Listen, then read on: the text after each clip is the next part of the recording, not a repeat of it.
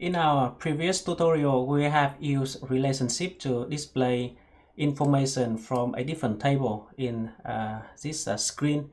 So now uh, the problem is uh, this is a link field. That means if we make a change here, it will update the uh, original table, in this case the person table, instead of uh, making it a uh, data related to the main object, uh, which is the asset object in this case. So let's say uh, one of our requirement is every time we type in the person name here, it will copy over the data and this data will be part of the asset table.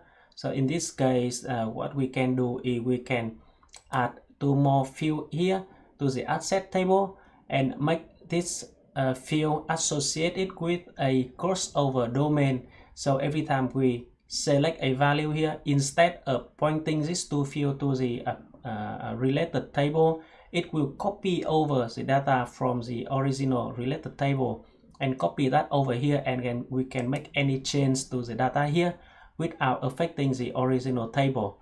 So uh, that's what I'm gonna do next. So first I'm gonna add two new field and I'm gonna make when I change this field name it will copy the name of the guy over to the asset uh, table here. So now what I'm gonna do I'm going to open the asset object. I'm gonna add a new field. I'm gonna call it a uh, owner name and I'm gonna make it a text field with a length of 100 characters. And I'm gonna call it owner name as well.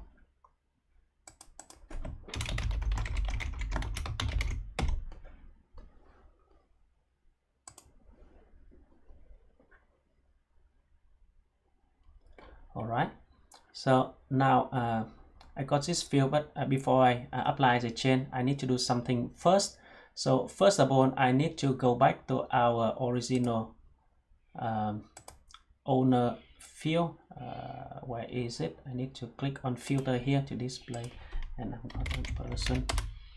Yeah, earlier I called it a person ID field. Now let's go to the domain application and create a new crossover domain okay so i'm gonna call it uh, owner copy uh, cross over owner details. Okay. And now first i will click on new row here and choose the source uh, table. So in this case i'm gonna copy the name of the guy from the person record. So i'm gonna put the person table here. And then I will have to enter a uh, list where clause that uh, house maximum win 5000 uh, record that in we it will pull data from. So in this case I'm gonna put in person ID equal person ID and that's it. And now down here I will tell Maximo to copy like if it open the record it uh, to find out the record that it can uh, copy data from then it will copy the data from this source field. So in this case i'm gonna call it a a uh, display name field and then we will copy this field to this field. So i believe i call it owner name field in the asset table and i will choose uh, accept no value as well. So i'm gonna click on ok here. So i got this domain already. So now what i'm gonna do is i'm gonna click on return with value here. And it will set that domain to this uh, person id field. Okay so now i will need to make a uh, apply the chain to make change to the database. And we'll need to apply it. Okay.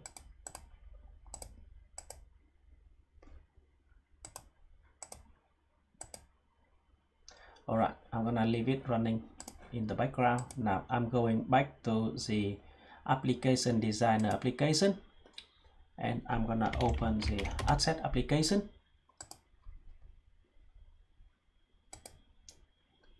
now i'm gonna delete all of these uh, fields earlier that i don't need.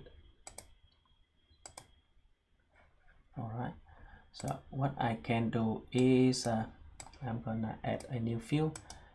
And now I'm gonna associate it with the new field that I added to the asset object. So in this case um, just type out the name field here. Right so because uh, the database configuration process is still running so it will show a small invalid binding here but that's okay. I'm gonna increase the size the length of this field a little bit. It's just a display size only so in this case i'm gonna put it 30 just to make it a bit longer. All right so now if we go back to our asset application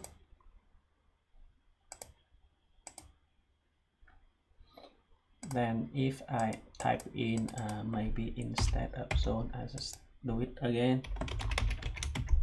Yeah so you can see after I type in a correct ID from the person table it will go to that table look up for a record where the ID match with this text and then it will pull out the display name of that record and copy it over to this uh, field. So let's say if I write something here and click on save then it will store it onto the asset table. And now if I'm open the uh, people application and I'm going to open the record I can see that it doesn't change my original data. And if I'm saying Frank zone uh, name okay.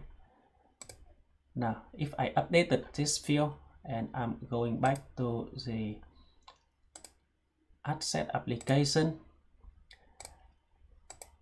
I can see that this field doesn't change because this field associated to the asset table.